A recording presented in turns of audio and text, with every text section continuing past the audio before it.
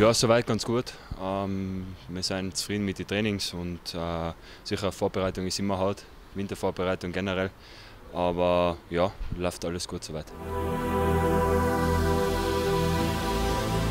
Ja, kann man so sagen. Also, äh, ich habe jetzt mal darüber nachgedacht. Auf der linken Außendeckerposition spielt ein guter Freund von mir. Äh, wird sicher ein besonderes Spiel. Ja.